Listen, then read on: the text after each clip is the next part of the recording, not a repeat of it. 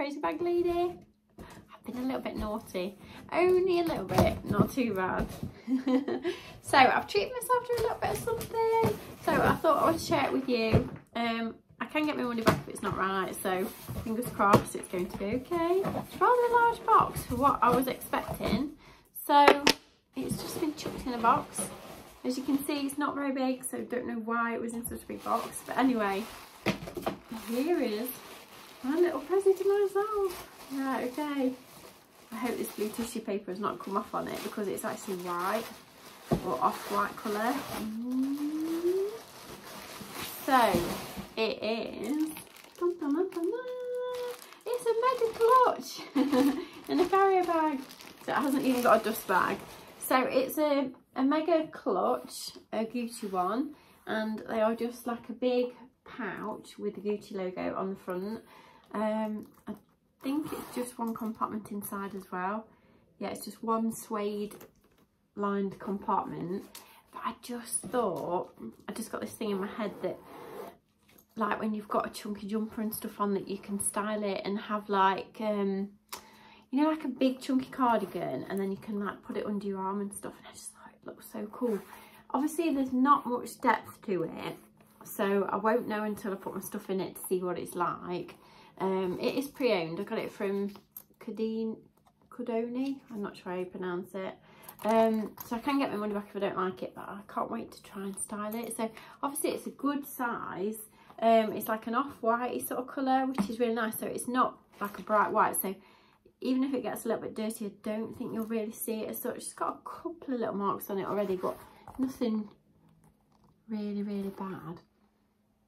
The leather still smells nice. It's really like soft and squidgy. Lovely. Right, I need to go try some stuff in it. Let's go.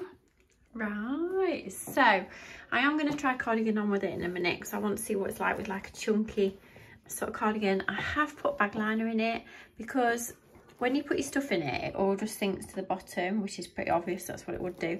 So I have put a liner in it. Obviously the liner doesn't really fit properly, but if you've got a nice liner that fits in it, would organise it to put all your stuff in it, which would then keep it together a bit more. So you can obviously tuck it under your arm, you can hold it by the top of it. I think you could actually put a wrist strap on it. So you could attach the wrist strap to the, the zip thing zip um, hole and then I've also I've just tested it put my little Prada keyring on it to see what it looks like because I think you could put like a really big puff like a little pom-pom on the end of it as well which would look really cool so although it's not got a strap there's loads of different ways you can play about with it and it just feels so cool and you can imagine it can't you with like chunky winter coats, you know, just sort of shoved under your arm. And whether it would annoy me when I'm out shopping, perhaps it might do a little bit. That's something I've got to weigh up because obviously you can't just fling it over your shoulder or, or anything. You have always got to, well, carry it really under your arm or whatever. But let's try it with a cardigan. I've gone bought one better than a cardigan. I've got a coat. So imagine in winter with your coat shoved under your arm and it's like carrying like a cushion around. It's just so cool. I really like it. Um, but if i was shopping and i got loads of stuff to carry it might get in the way. Um, i'm not sure. Try it without the keyring it's pretty cool isn't it? I just it feels really nice. Um, but i think if you definitely put a wrist strap on it and then you wouldn't drop it you know like if you slipped it wouldn't fall to the floor. Because if it's got a wrist strap on it then you've got something to tie around your arm so that you definitely won't drop it. But isn't it cool? The leather's really really nice on it as well. And all my stuff fits in it.